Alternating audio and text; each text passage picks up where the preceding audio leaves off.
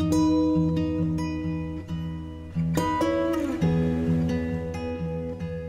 nous retrouvons euh, aujourd'hui à J 2 du, déconfinement. Euh, je voudrais avoir une pensée euh, particulière pour tous les gens bien sûr qui ont été malades et puis tous ceux qui ont perdu un proche. Je voulais vous faire un petit point sur la distribution des masques qui est presque terminée aux plus de 70 ans. Euh, certaines adresses, nous n'avons pas pu rentrer, donc les masques ont été postés. Ça doit vous arriver euh, très prochainement. Si jamais ce n'était pas le cas, n'hésitez pas à vous faire connaître sur le site de la ville ou euh, en appelant tout simplement la mairie.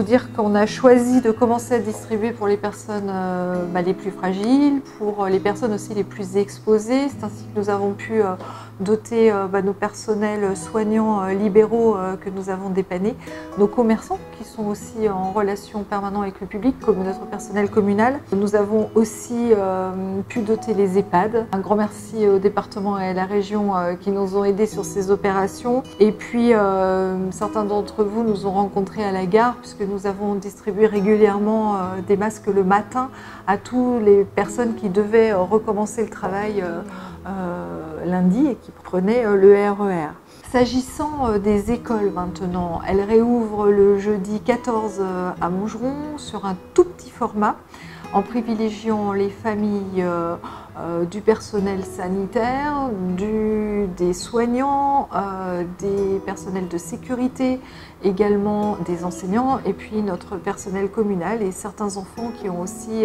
été priorisés. Euh, évidemment, toute cette réouverture s'est faite en lien étroit avec l'éducation nationale en tenant compte du protocole sanitaire qui sera strictement euh, appliqué. Je tiens à saluer l'engagement du personnel communal pendant toute cette euh, période et puis également tous les efforts de tous les Montgeronnais pendant cette longue période.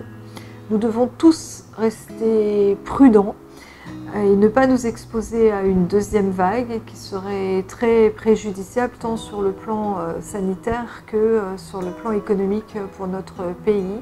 Donc restons bien euh, tous vigilants. Je, je, compte vraiment sur vous pour continuer de respecter scrupuleusement les consignes qui vous sont données et qui sont vraiment capitales. Je rappelle qu'il y a trois consignes qui sont vraiment très importantes. Hein. C'est le lavage des mains, la distanciation et le port du masque. Ce sont vraiment euh, trois, euh, euh, trois incontournables qu'il faut absolument mettre en œuvre et qui, mise en œuvre, doit nous permettre de retrouver un peu de liberté tout en étant en sécurité.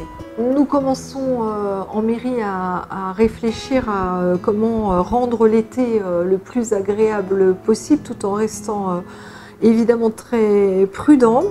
Euh, n'hésitez surtout pas à consulter régulièrement le site de la ville et puis euh, également les réseaux sociaux. Et puis euh, vous dire aussi que nous reprenons la diffusion du Montgeron Mag dès le mois de juin. Donc vous aurez de plus amples informations. Je vous souhaite à tous de profiter de ces moments de liberté retrouvés et surtout de continuer à bien prendre soin de vous.